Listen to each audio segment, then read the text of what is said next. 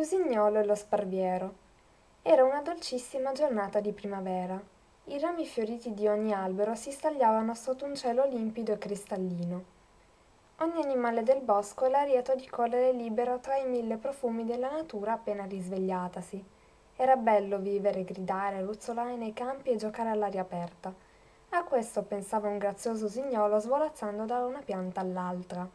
Egli era enormemente contento. Infatti era appena diventato papà di cinque meravigliosi uccellini.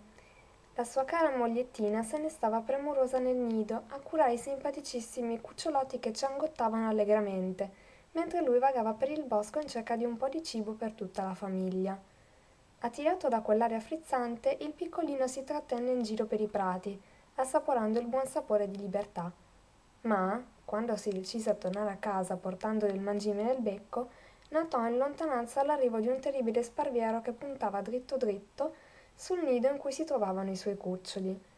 Con coraggio e senza esitare, l'usignolo si posò sul ramo di un'alta pianta e cominciò a cantare con quanto fiato aveva in gola. Una melodia bellissima uscì dal suo beccuccio. Ogni creatura si fermò ad ascoltare. Era il canto di un genitore disperato.